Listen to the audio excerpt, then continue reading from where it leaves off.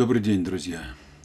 Продолжаем наши встречи. Надеюсь, что когда-нибудь они отзовутся и в моей, и в вашей душе, и разуме какими-то мыслями, которые э, в нужное время, в нужное время э, сыграют свою роль. Надеюсь. Поэтому я с таким желанием сам размышляю над теми э, темами, которые предлагаю, и хочу, чтобы вы были э, в это время моими э, союзниками и э, единомышленниками. Еще одно, одно отступление, отступление. Понимаете, проще всего, может быть, было бы э, проще было бы всего взять некий курс лекций и э, рассказывать там, об истории или о событиях исторических или неисторических, как-то отстраненно. Ну, зато, скажем, прошла бы некая программа э, образовательная. Но я не вижу большого смысла в таком формате разговора. Мне хотелось бы, чтобы мы в результате поисков наших с вами нащупали те э, болевые, живые точки в каждой душе, моей, вашей, любого, кто захочет.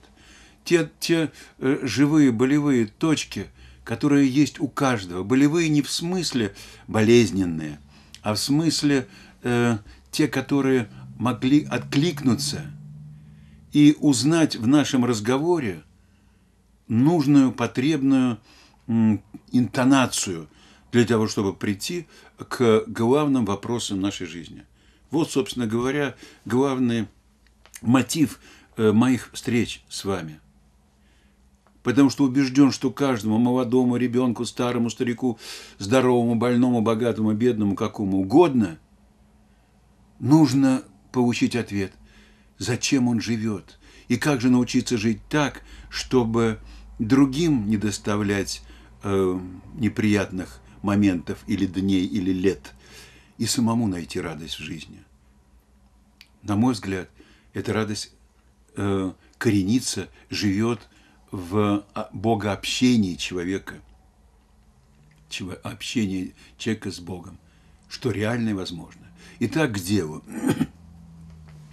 несколько слов по поводу осенних богородичных праздников. Э, мы с вами говорили о, уже о Рождестве Богородицы, а теперь хочу несколько слов сказать о празднике Покрова Божьей Матери 14 октября. Вроде бы не скоро, но время летит мгновенно. И э, одновременно как бы соединить э, праздник 4 ноября Казанской иконы, иконы Божьей Матери. Я не буду подробно говорить о каждом из них. Об этом будут говорить много э, на всяких каналах. А я скажу, чем они для меня едины. И для каждого из нас. Участием, первое, участием Божией Матери в реальной жизни человека.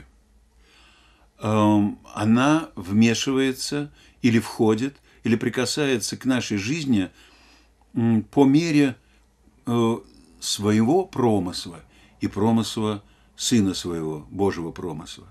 Вмешивается э, в жизнь э, людей через тех людей, которые готовы услышать ее волю, его призыв, ее призыв к нам.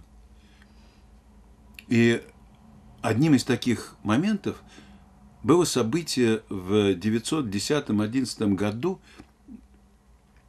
нашей э, эры, естественно, э, в Константинополе, в Авлахернском храме, когда на Константинополь нападали очередной раз противники христиан.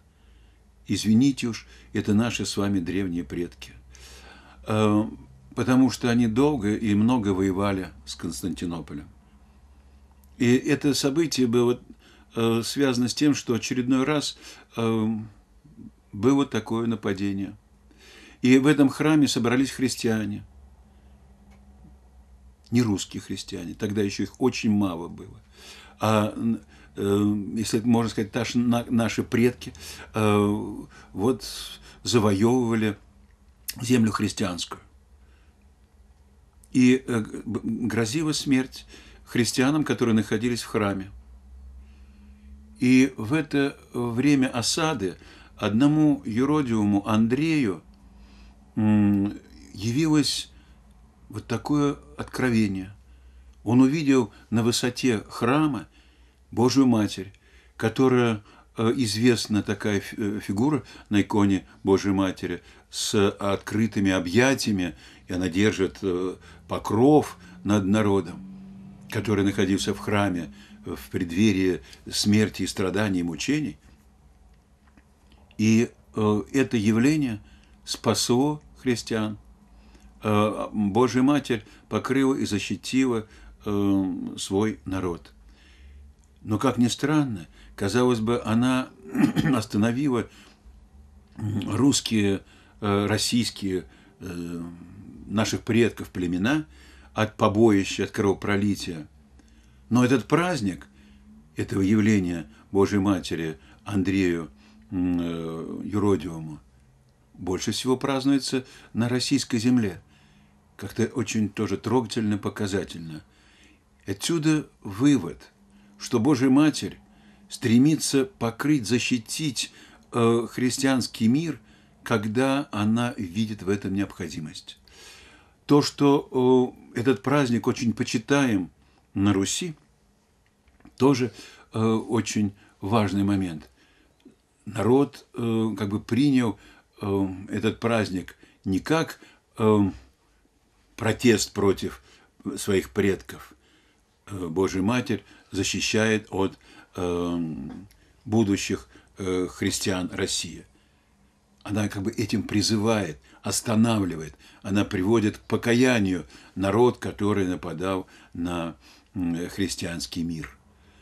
Э, этот э, вот событие так почитаемо на нашей земле. Э, и второй праздник Казанской иконы Божьей Матери, который связан с явлением этой иконы девочки Матроне в Казани после Э, захвата, опять же, российскими уже при Иване Грозне, Грозном э, войсками, за защиту и разрушение этого города. И девочке Матроне было явлено, явилась Божья Матерь, сказав, что где нужно найти ее икону. После э, всевозможных эпизодов доверия, недоверия к девочке Матроне, икона была открыта и явлена, и она тоже является э, знаком покрова над э, христианами, призывом к тому, чтобы быть верными Сыну Божьему.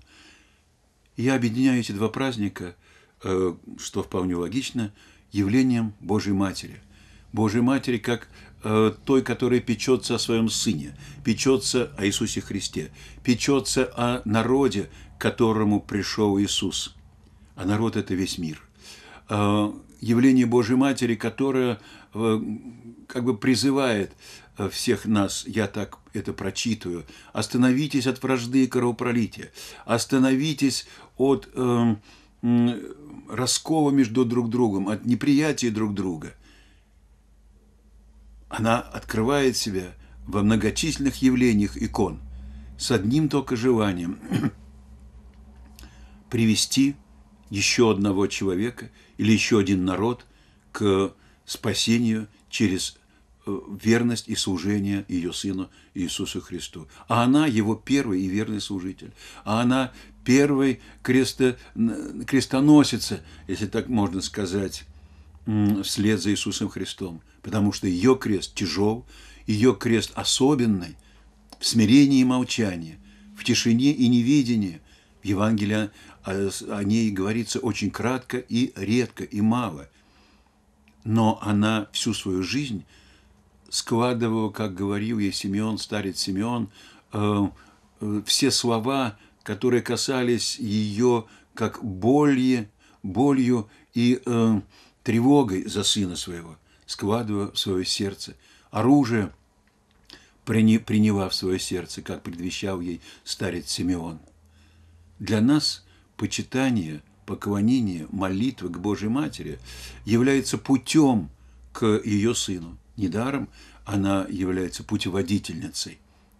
Фактически, фактически каждая ее икона и ее явление является призывом э, к каждому из нас, чтобы мы не просто были просителями о помощи исцеления, а самая главная молитва к ней пусть будет такова.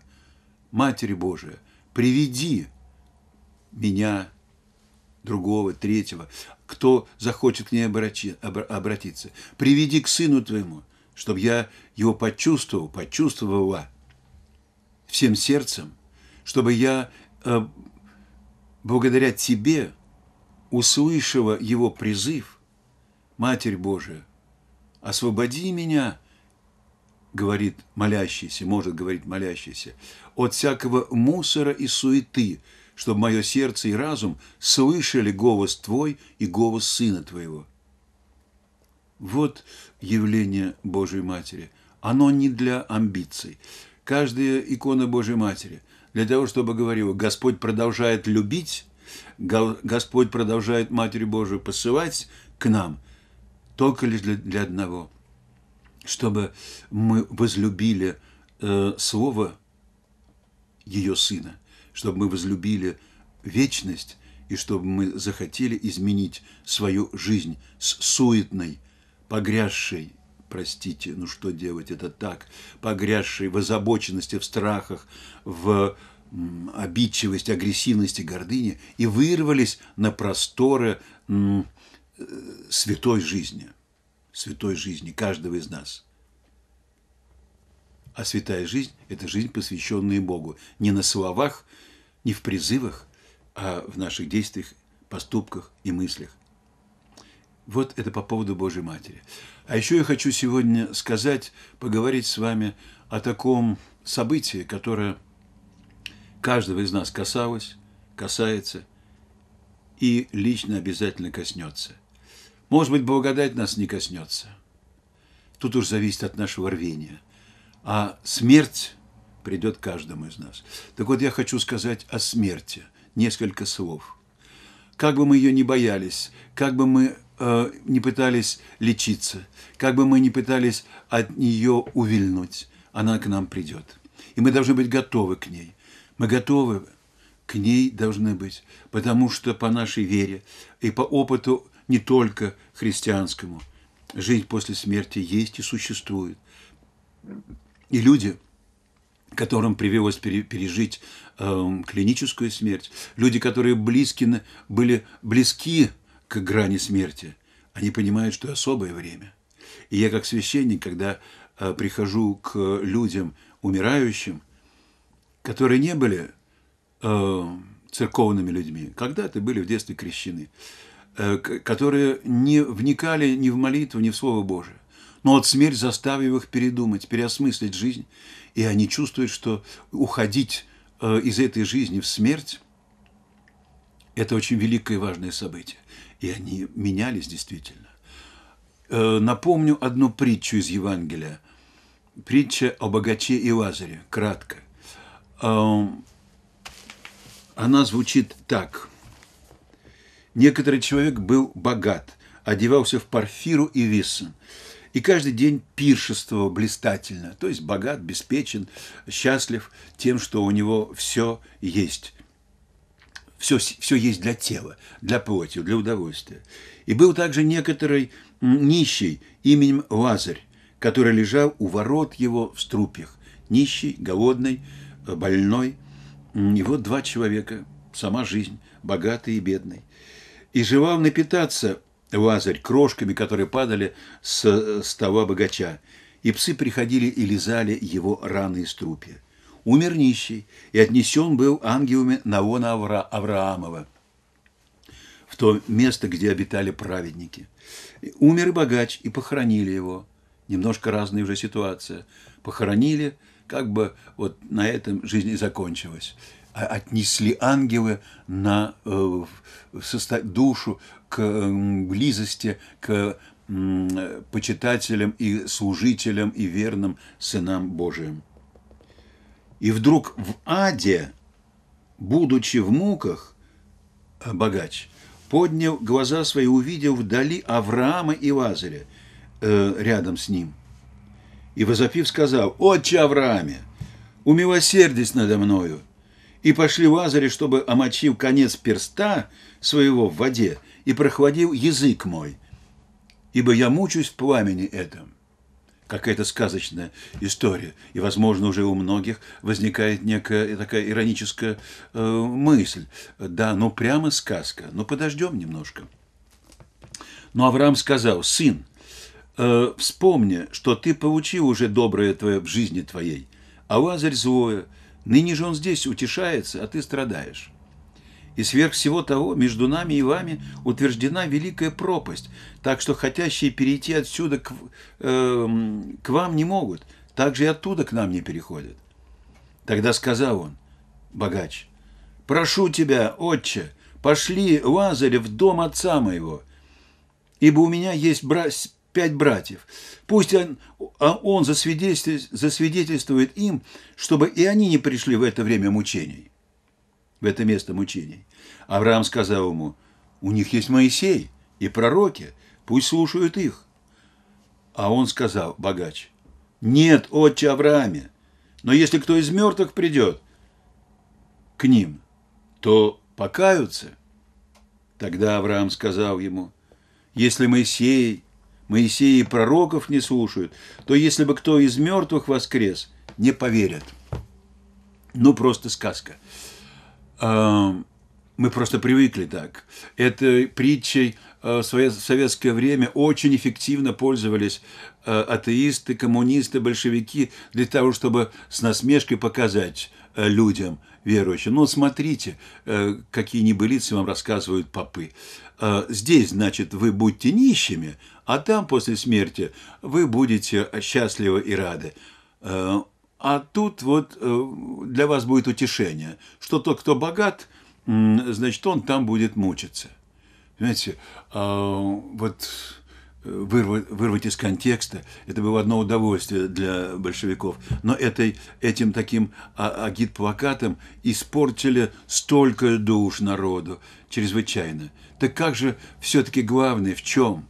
А в том, что мы, люди, э, Здесь созидаем свою жизнь вечности.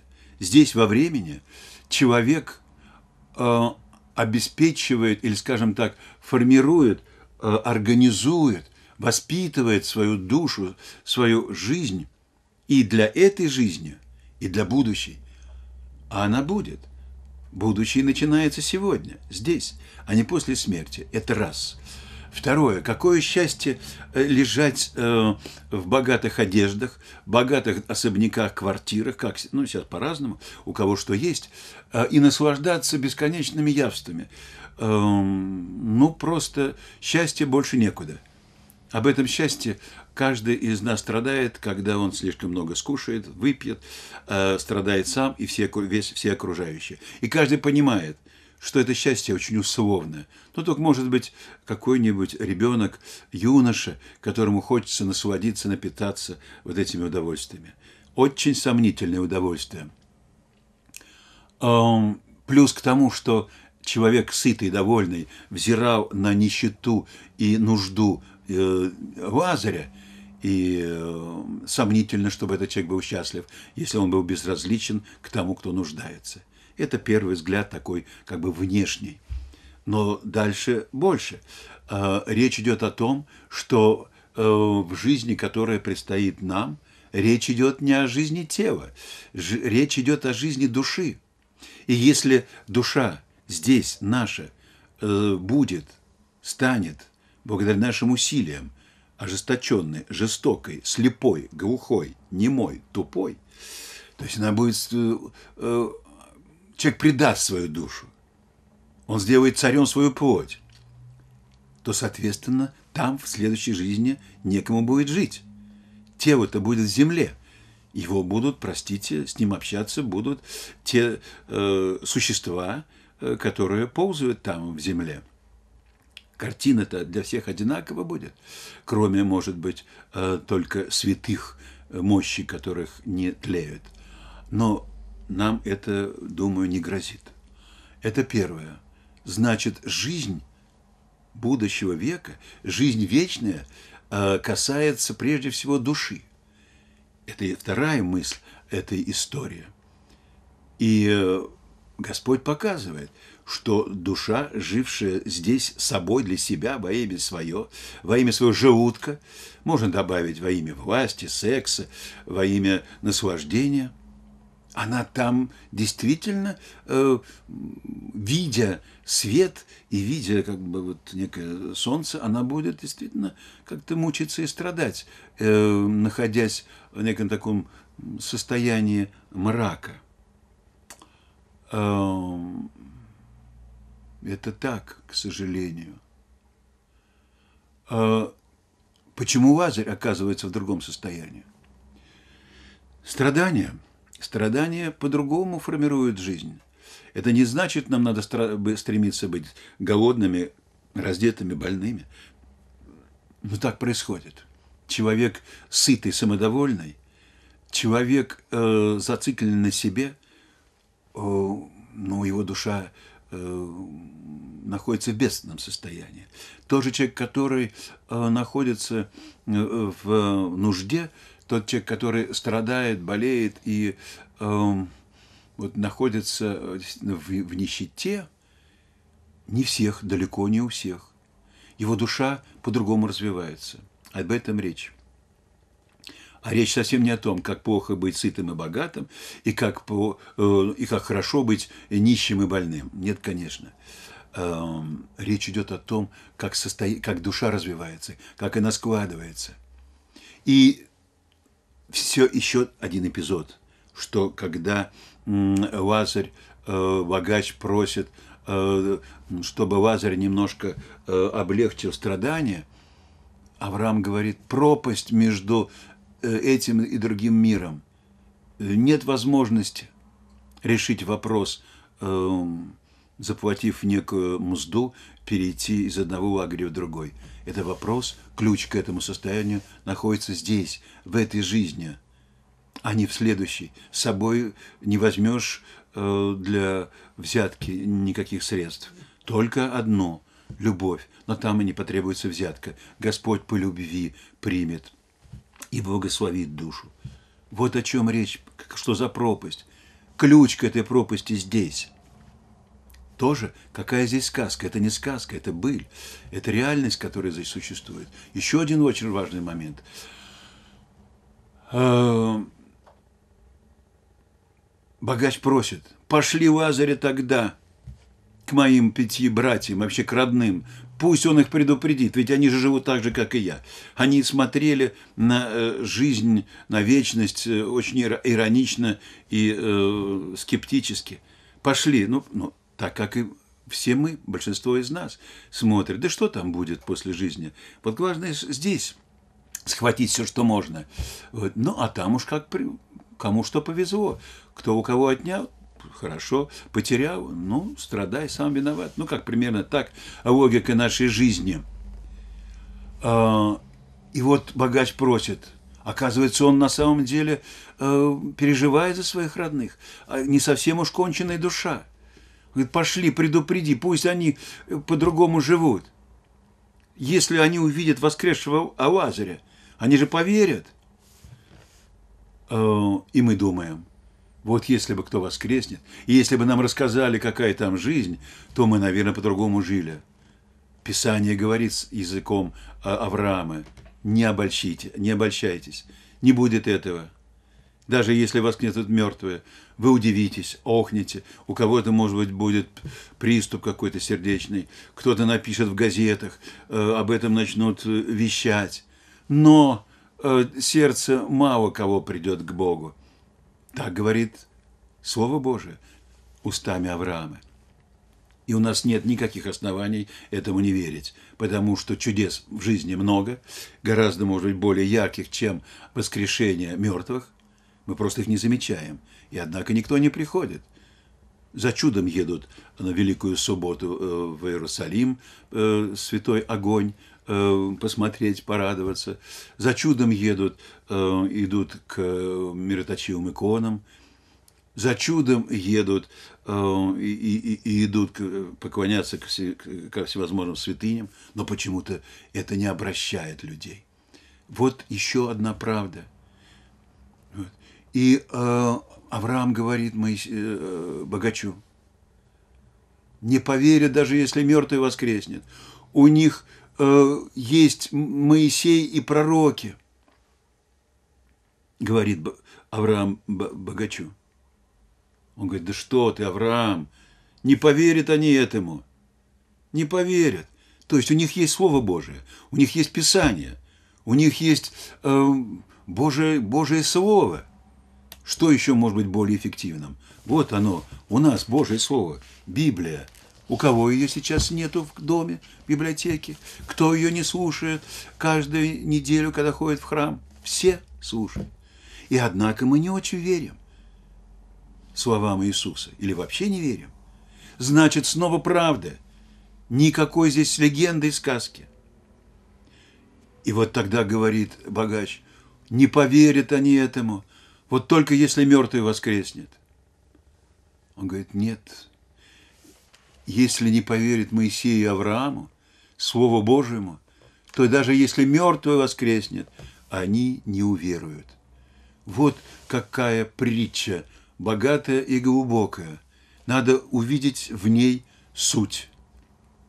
Жизнь настоящая – это жизнь с Богом, вечности. Жизнь здесь она дает нам ключ к жизни дальнейшей. И не только к дальнейшей. Не ради этого мы должны быть добрыми, не ради этого милосердными.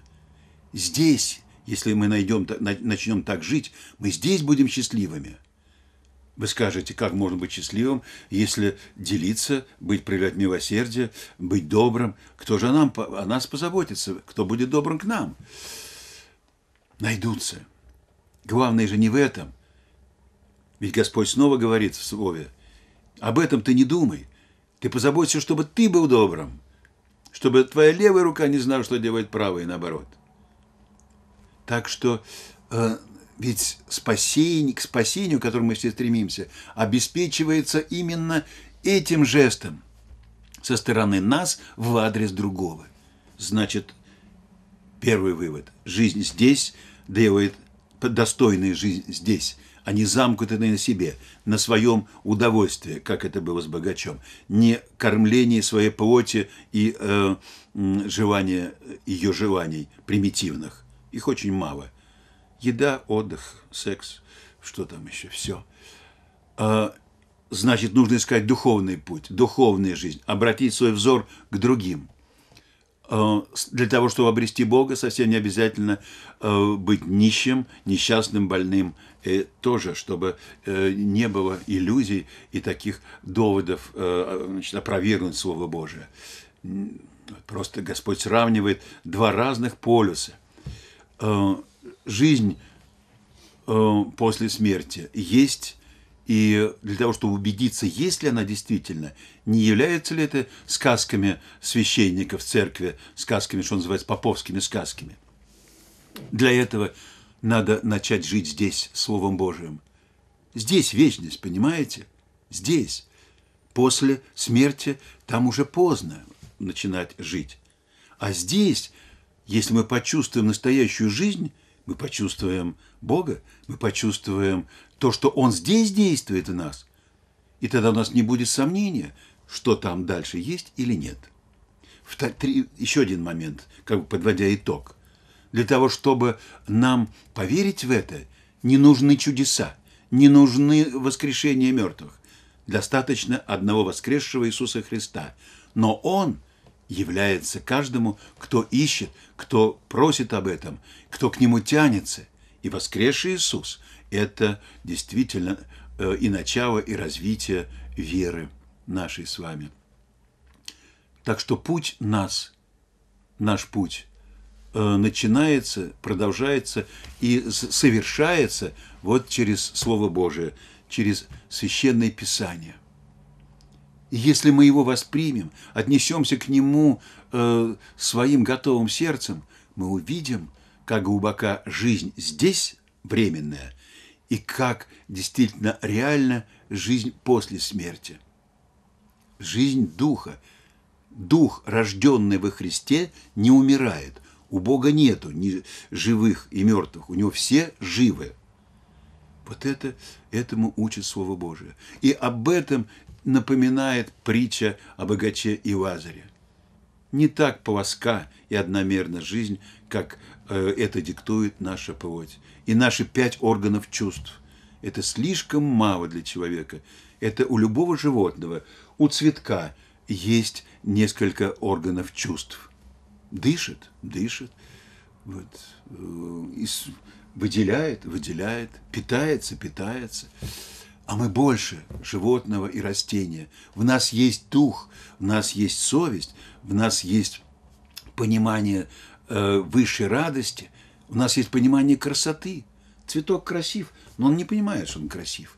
А у нас есть эта способность. Вот, друзья, искать все возможные пути для того, чтобы почувствовать, что э, высшая наша жизнь – это жизнь Духа в Боге, и тогда мы будем счастливы в этой жизни, как бы она ни была трудна. По крайней мере, у нас будет сила преодолеть эти трудности. А там, дальше, уж Господь решит, кому что предназначено.